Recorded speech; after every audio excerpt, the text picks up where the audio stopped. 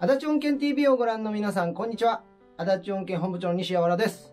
こんにちは、こんばんは。足立音源統括マネージャー、ドラム義塾塾長の今成秀樹です。はい。久しぶりに久しぶりですね。こんな感じで お送りしますが、えー、今回のテーマは、えー、フットペダル？おキックペダル？うん。どっちですか？キックペダルっていうことが多いかあ、な。キックペダルそう。フットペダルって言って両足だもんね。あーあー、そうかそうかそうか。なるほど。じゃあうんバスドラムの方はフットペダル。キックペダル。合わせてフットペダル。なるほど。じゃあ、今回キックペダルお話をしたいと思います。まあ、何台乗り継いだ？そうよね。本当にさ。実際。今田さんは結構ほら、変える派だけど派、だよね。変えない派の俺でうも、ん。結構乗り換わってるよね。そうだよね考えたら。うん最初買ったのっていつぐらい？俺は、あ、思い出したよ。中3だね。おドラムセット買った時に同時にそうかそうか。買った某樋口さんに憧れてたからさ パールのセットなのにさほ FP720 買ったよね、う。ええうん、思い出したあの人ずっとそうだったんだよ、あ、そうなんだ。うん、へえ。すごいそこはこだわって買ったな当時でいくらぐらい？1万半ばぐらいしたのかな。一回消えて復刻した頃だったのかな。あ、そうなんだ。ん。今でもある古いから。えーっとね復刻しまくって出てたけど今またないんじゃないかな。多分限定生産みたいなの繰り返してたような。そうかそうか、そうかもね。うん。いわゆるメイクですよ。そうだね。ね。うん。ベルト？そう、ベルトのね。深淵、そうだよね。ロングボード。ロングボードなのか。そう、今思うと踏めないよね。もうクローズでガンガン踏んでたから、関係ないよね、もう。そういうことか踏んでた。うんなるほどね。だから双方にも関わってくる関わってた。ね。うん話だよね。そうか。うん俺も高校入ってからだもんな。うん。そうそう。兄貴にそう買ってもらったのが初代。はあ、思い出の。そう、玉のと それこそ深淵とかも全然知らない頃だかうんら、多分兄貴も一番安い、うんうんうん。買ってやれそうなものを買ってくれたんだと思う。なるほど、なるほど。ああ。それを使ってたね。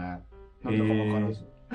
最初はわかんないよね。もう憧れとか、あと買ってもらったとかの世ね。界だろうから、最初はそ。うだようね。ん。その次は、二代目は？えーもうね、そのあたりから、パールがね、続々と出していたのよ。おー。水玉のやつとか。はいはいはい。横線のやつとか、いはいはいなんかもう、年一ぐらいでなんかモデルチェンジしやがってさ、ああ、そうかもしれないね。うん。で、次々あれがいいって、某さ、雑誌で言うわけよ。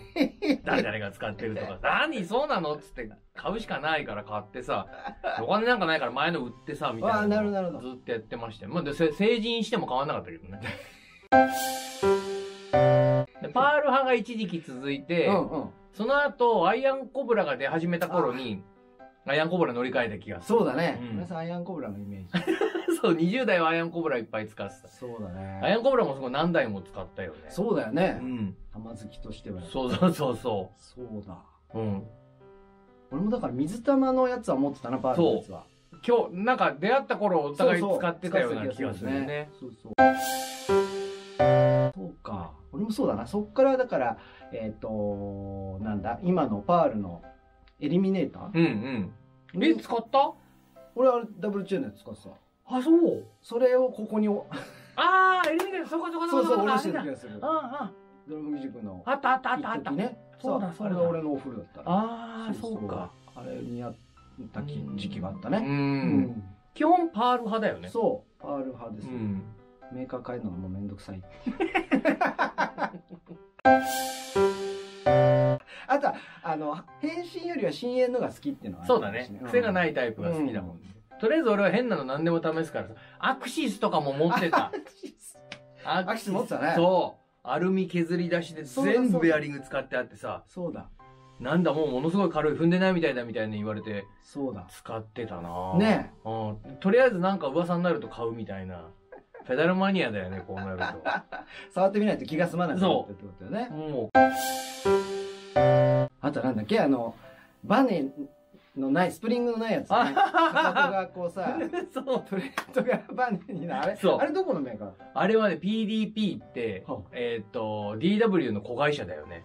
あそうだったんだ、うん、DW の廉価版パシフィックっていうメーカーだったと思う。ほすごいんだよ、こうやってね。横からこうやってペダルが立ってるとしたらさ、普通こうやってバネが引っかかってこうなるじゃん。んね違うんだよ。こいつがバネなの。ね板でね。あれすごいよねこう踏んで曲げるんだけど、まあ踏みにくいんだよ。なんで買ったんだって話だけど。うん。あのペダル面白い。でも面白かった。面白かったね、うん。だからそういうもろもろが全部二人はこう、積み重なってさ、うんうん今の、まあ好みもそうだけど、うんこうご説明するときに全部、あ、それね、こういう感じなんすよねっていうのが言い当てられるっていうのまあが確かにねあるからね。そうねうん積んできたものがうん。生かされているはず。投資分ね、そうそう投資だからね溜まってる。って思いたい。ですね。でいよいよこう今ですよね。行き着いた行き着い先。た先。今こう四十半ばになって僕らが、今実際何を使ってるかっていうのを今日は一応持ってきたんで。そうですね。ちょっと見てみますか。うん。